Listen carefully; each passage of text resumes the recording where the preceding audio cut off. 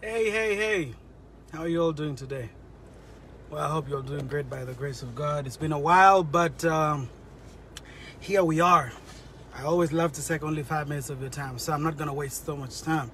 Today, I want to talk about holiness and forgiveness. Um, why this came to my mind is uh, last week on Friday, I was driving to to get some lunch with a few friends of mine at work, and one of them had mentioned to me that his father was a pastor. So I I was playing a a gospel song in my car. It's called The Blessing. The Lord bless you and keep you.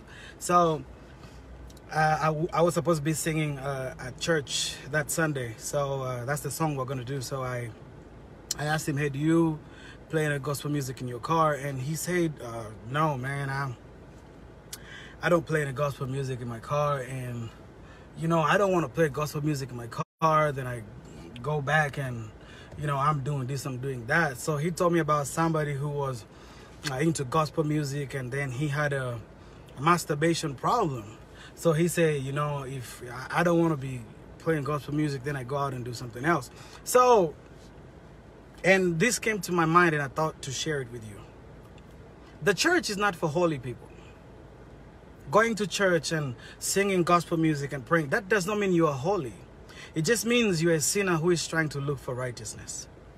Nobody is holy. The Bible clearly says it here. I wrote it down just so I don't mix it up.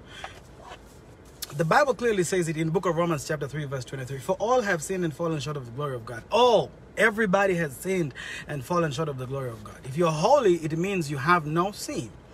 But if you have sinned and fallen short of the glory of God, it means you cannot be holy. You are not holy. But also Romans chapter 3 verse 10 says, no one is righteous, not even one. Nobody is righteous. Talk of Abraham, talk of Moses. I'm going to, in, in a moment, I'm just going to talk about uh, some strong characters in the Bible that uh, that have influenced us in our day-to-day lives as Christians. And I want to talk to you about how they were very, very unholy. Because look at David in the book of Acts chapter 13 verse 22. It refers to David as a man after God's own heart. Can you imagine? And yet David's hand was so blood-stained that when he asked God to build him a temple, God told him, no, you don't have to because your hands are soiled with so much blood. So David's son, King Solomon, had to build for God a temple. But look at how favored David was with God just because he repented. But David was not holy. David was not righteous. So the church is not for holy people. The church is the place we go to refuel up. You know, to fill up our tanks once more.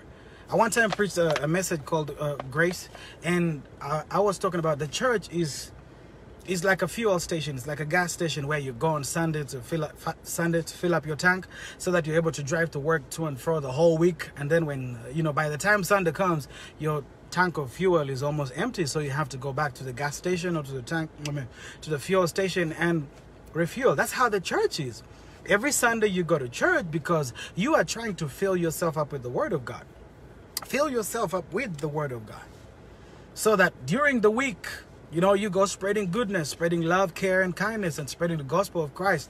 As he said, go into all the world and preach the gospel. So you are, you know, speaking to your friends at the end of the week, you are empty, and you say you go back to church and say, Lord, please fill me. Again, just going to church. The book of Hebrews, chapter 10, verse 25, it says, Let us not forget or neglect to fellowship and encourage one another. This was the Apostle Paul.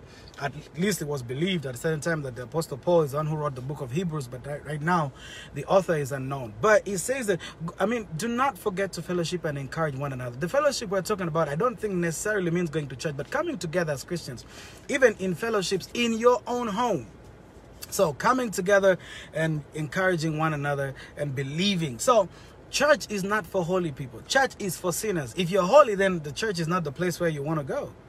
Much as in the Old Testament, the church is where God dwells. Right now, the Bible says that your body is a temple of the Holy Spirit. That means God dwells in you. That means the Spirit of God is in you. His helper is in you. So you are the church. You are the temple of the Holy Spirit. But because you're the temple of the Holy Spirit doesn't mean you forget to go to church because it says do not forget to fellowship together.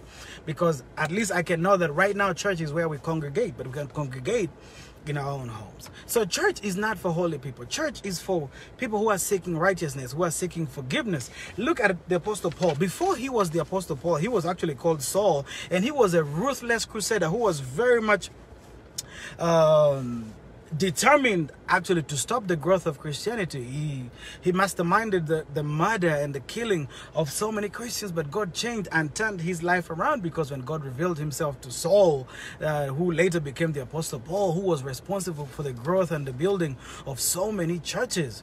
You know, it, it started to look different unto him when God revealed himself to Paul. So Paul was a sinner, and like many of us, but just because God revealed himself to him.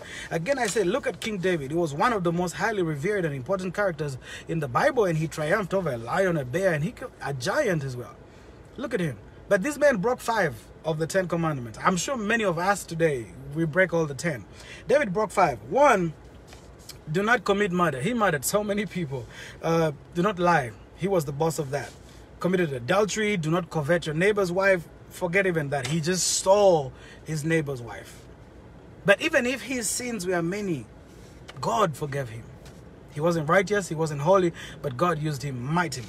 Look at Moses.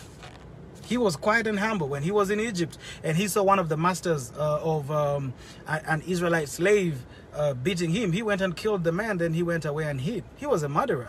But God still transformed him and sent him back and used him to rescue over 2 million Israelites who were trapped in Egypt. Can you imagine? Unholy people.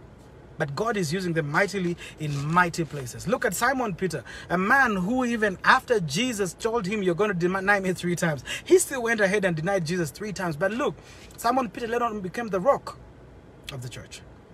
A sinner. Denying that he and Jesus were not friends, that was a sin. Do not lie. He's lying right there. But God still used him mightily. Look at Jonah. God asked him to go and preach the gospel in Nineveh. He instead boarded a ship going to um, uh, uh, uh, to Italy across the sea, the other direction of Nineveh. He didn't want to go there, you know. But when God sent a storm to capsize the ship and uh, Jonah was thrown into the ocean, God could have let him drown, could have let him die, made a whale swallow him and deliver him to Nineveh, and he preached the gospel. And what happened? He was still an unholy man, a man who listened to God. I cannot imagine someone who directly disobeys God. How can you do that?